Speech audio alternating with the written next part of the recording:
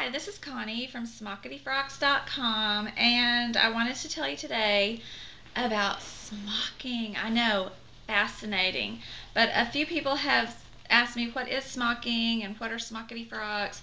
So I thought I'd tell you um, smocking is needlework, and it is done mostly on little girls' dresses on teeny tiny pleats, and it's mostly an old southern tradition like embroidery on the front part of a little girl's dress.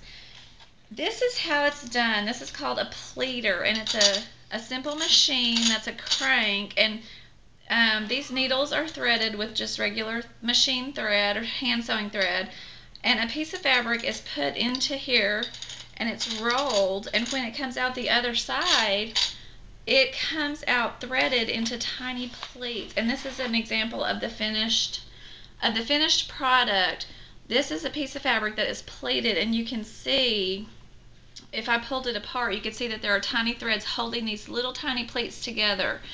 And this is an example of a piece that I started uh, 13 years ago for my son. It has cows and this was supposed to be the beginning of a John Deere tractor. But he got bigger and my husband put his foot down and said no more knee socks and little Hans and Franz outfits for the boy. So anyway, I, wasn't through with it. So anyway, I never have had another little boy to give this to, but I thought this was really cute. A smocked piece can go on the front of a little boy's outfit just like this, like a little overall outfit. But mostly you see it on the front of little girls' dresses. And it can be picture smocking like this, or it can be geometric, which is just zigzags. And you follow a pattern. Ah! Upside down. you follow a pattern and you buy it at a smocking specialty store and it shows you it tells you exactly what to do the stitches to take and what colors of thread to use and everything like that. So I've always loved smocking and I've always smocked my little girls Easter dresses and Christmas dresses and any time of year dresses. So when it was time to name my blog three and something years ago I thought to myself for about two and a half seconds what name should I call it? Okay smockity frocks. The issue with that now is it what does it mean? I don't know. I was on the airplane next to a kind gentleman on the way to the blogging conference in Nashville, Blissdom. And he asked me, he was very friendly and asked me where was I going, what was I doing, and what's a blog.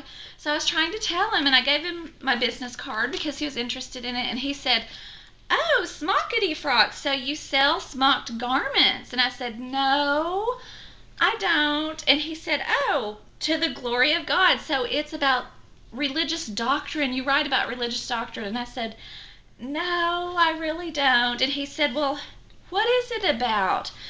And I was all, Okay, get off my back, mister, all right? I don't know what it's about. It's about nothing, okay? It's about everything.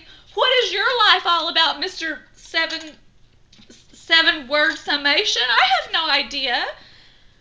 Is it would it be easy for you to come up with seven words to describe your whole entire life? No.